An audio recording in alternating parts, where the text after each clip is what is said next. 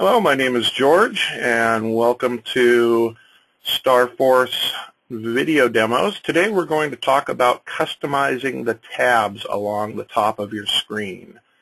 So you have a little plus here, and if you click that plus, that brings you to every tab that you have access to in Salesforce. Over on the right, you can click Customize My Tabs. Now you have the ability to add the tabs to your object or to your uh, columns up here depending on the app that you're using. So all of these apps that you're seeing here are also the same ones that are up here. So you may have different apps for sales or call center or, or content, whichever. And so say you wanted to maybe add accounts to this. So we would grab accounts, bring them over, and I want them maybe next to campaigns. So we'll raise them up. And as you're moving these around, keep in mind that the top one is the left, left tab and the bottom one is the right tab.